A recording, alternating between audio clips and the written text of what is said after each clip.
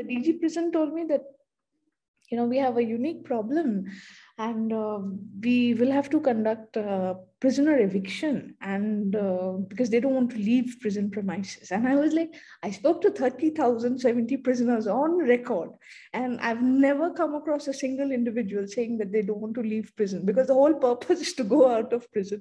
So i was waiting in front of this it was like a village uh, i was standing over there and i was waiting for the superintendent to take me to a prison.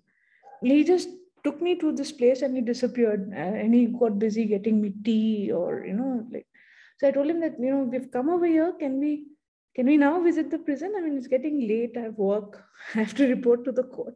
And he was like this is the prison. And i i just i was so baffled because there was no bar there was no wall there was no gate there was no guard no uniformed men. And I, I just I couldn't believe that that was a prison. It, it took me some time to uh, like process that that this is a village, but this is also a prison.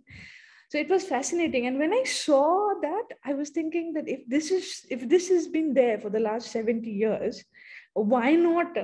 I mean, this can be spread across the countries, and it's a successful model. It has stood the test of time, and it's uh, it's a humane alternative to the closed prison system.